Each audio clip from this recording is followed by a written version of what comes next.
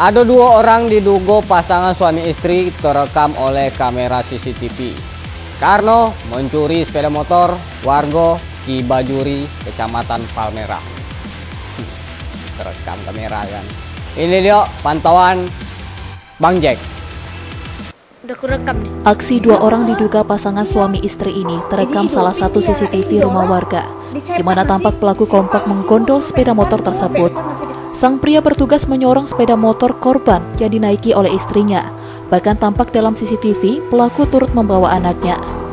Aksi pencurian sepeda motor tersebut terjadi pada Senin 12 Desember 2022 sekira pukul 8 malam di salah satu rumah warga Kibajuri Lorong Aster, RT 5, Kelurahan Lingkar Selatan, Kecamatan Palmera.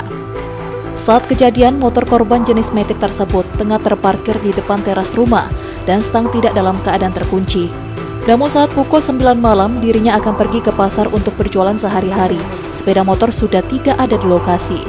Setelah melihat CCTV tetangga korban, baru diketahui motor korban telah dicuri. Pas isak lah bang, sekitar jam 7 lewat lah kan. Mau pergi ke pasar rencananya mampir tempat mertua dulu kan, main. Nah pas kebetulan pas sampai tempat mertua, seperti biasa lah bang, parkir seperti ini. Saya asik di dalam ngobrol sama mertua sama istri juga lah dalam sama anak. Kebetulan pas mau izin pamit pergi kerja ke pasar tahu-tahu motor sudah nggak ada.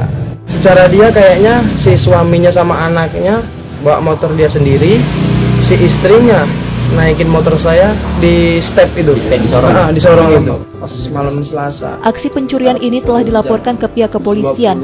Belum diketahui apakah benar dua pelaku merupakan pasangan suami istri atau hanya modus kejahatan belaka. Dimas Sanjaya, Cek TV, melaporkan.